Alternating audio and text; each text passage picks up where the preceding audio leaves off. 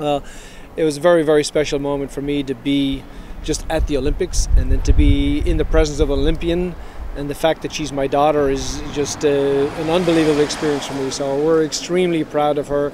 I'm very, very proud of how hard she's worked because I know firsthand how much she's put into this for herself. And she has worked really, really, really hard. We all just like to swim. It all started off with us just swimming in the ocean for fun, and then we started practicing in the pool. Every time I go to practice, I have them to come with me, so I'm not by myself. So it's fun. But everybody's like one big happy family at the pool. Uh, is like runs to the blood. It started on my dad's, and then passed on to my sisters, and goes on to my few other cousins, and then passed on to me. When I was young,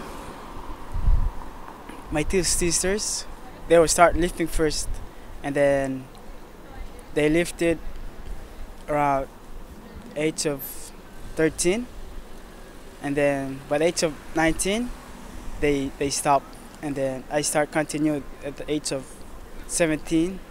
They're they're like my idol because they're one of the best in the Pacific. They won gold, silvers. They they're like twins, golden golden sisters. I've been away from home for a month already, but I've been away a couple of times for a very long time, and I'm used to it. But I still miss the heat, the heat, and everything else. Before I got here, my grandmother took me to this old um, lady who blessed me and gave me a small little gift to take with me all the time. It's lucky. It makes me feel, even though it's like witchcraft and all, or something like that, it still makes me feel good and it's something from home. Yeah, my family is very supportive and they're very religious. They tell me to pray every time when I got when I got to sleep. They kind of impressed when I did my best record. Yeah.